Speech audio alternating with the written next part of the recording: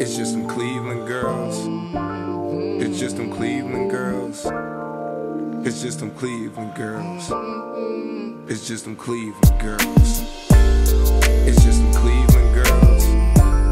It's just them Cleveland girls.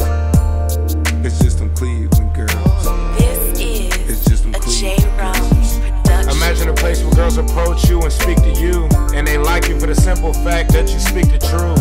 About the inside, weather than all your sneakers through. And then you come to Cleveland and your dreams are crushed in front of you. I need a girl who knows she hot like some weather, but don't act stuck up like an umbrella. And even though she like them other fellas, she stick with me cause she know I treat her much better. But some girls like them niggas that dog 'em. Try to stay slim so she do a lot of jogging.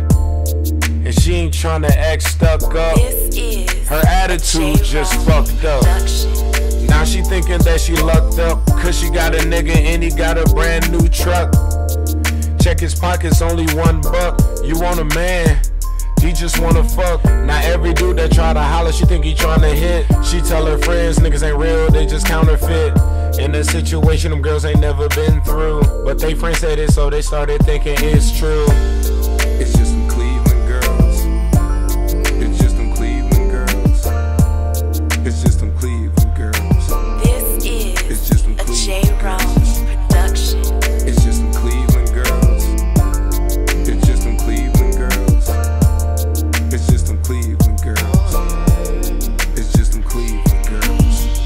now they walk around wearing all these tight clothes. And if a nigga try to holler, keep her eyes closed.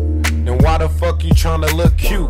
If you ain't get nobody a chance to fucking talk to you. And then they talk to the nigga that got the nice chains, driving a nice Range. Tell her she has a nice name. She tell her friends, no, he nice, man. And then this nigga ended up doing the same thing. And she blew me off. For this nigga, thought he was a rich nigga, turned out to be a bitch nigga. Now look at what he done to you. And to think the real nigga was in front of you. It's just them Cleveland